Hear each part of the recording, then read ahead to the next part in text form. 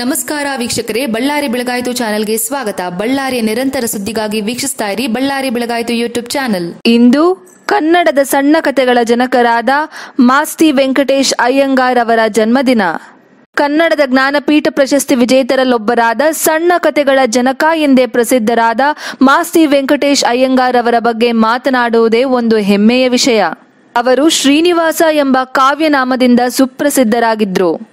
ಕೋಲಾರ ಜಿಲ್ಲೆಯ ಮಾಲೂರಿನಲ್ಲಿ ರಾಮಸ್ವಾಮಿ ಅಯ್ಯಂಗಾರ್ ಮತ್ತು ತಿರುಮಲಮ್ಮ ದಂಪತಿಯ ಪುತ್ರರಾಗಿ ಮಾಸ್ತಿ ವೆಂಕಟೇಶ್ ಅಯ್ಯಂಗಾರ್ ಅವರು ಸಾವಿರದ ಎಂಟುನೂರ ತೊಂಬತ್ತೊಂದು ಜೂನ್ ಆರನೇ ತಾರೀಕಿನಂದು ಜನಿಸಿದರು.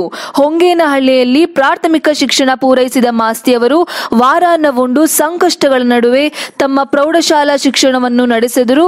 ಇದರ ಜೊತೆಗೆ ಪ್ರಥಮ ಶ್ರೇಣಿಯ ಉತ್ತೀರ್ಣತೆ ಕೂಡ ಪಡೆದುಕೊಂಡರು. ನಂತರ ಬಿಎ ಶಿಕ್ಷಣದ ಬಳಿಕ ಬೆಂಗಳೂರಿನ ಸೆಂಟ್ರಲ್ ಕಾಲೇಜ್ನಲ್ಲಿ ಪ್ರಾಧ್ಯಾಪಕರಾದರು. ಬಳಿಕ ಎಂಎ ಪದವಿಯೊಂದಿಗೆ ಮದ್ರಾಸು ಪ್ರೆಸಿಡೆನ್ಸಿ ಕಾಲೇಜಿನಲ್ಲಿಯೇ ಕೆಲ ಕಾಲ ಉಪಾಧ್ಯಾಯರಾಗಿದ್ರು. ಇನ್ನು ಮೈಸೂರು ಮಹಾರಾಜರ ಕಾಲದಲ್ಲಿ ರಾಜಾಧಿಕಾರದಲ್ಲಿದ್ದು ನಂತರ ಸ್ವಾತಂತ್ರ್ಯ ಭಾರತದಲ್ಲಿ ಸಾರ್ವಜನಿಕ ಆಡಳಿತದ ಸೇವೆಯ ದಕ್ಷ ಅಧಿಕಾರಿಯಾಗಿದ್ರು. ಸರ್ಕಾರಿ ಸೇವೆಯಲ್ಲಿದ್ದರೂ ದಕ್ಷ ಅಧಿಕಾರಿ ಮತ್ತು ಪ್ರಾಮಾಣಿಕ ಅಧಿಕಾರಿ ಎಂಬ ಜನಪ್ರಿಯತೆ ಗಳಿಸಿದ್ರು. ಕನ್ನಡ ಸಾಹಿತ್ಯ ಕ್ಷೇತ್ರದಲ್ಲಂತೂ ಮಾಸ್ತಿ ಕನ್ನಡದ ಆಸ್ತಿ ಎಂಬ ನುಡಿಗಟ್ಟಿಗೆ ಪಾತ್ರರಾಗಿದ್ರು. ಮಾಸ್ತಿ ಅವರ ಪ್ರಮುಖ ಕೃತಿಗಳಲ್ಲೊಂದಾದ ಚಿಕ್ಕವೀರ ರಾಜೇಂದ್ರ ಕಾದಂಬರಿ, ಇನ್ನೊಂದು ಚೆನ್ನಬಸವ ನಾಯಕ, ರಾಜವಂಶಗಳ ಉನ್ನತಿ, ಅವನತಿಗಳು ಇವುಗಳ ಕಥಾವಸ್ತು.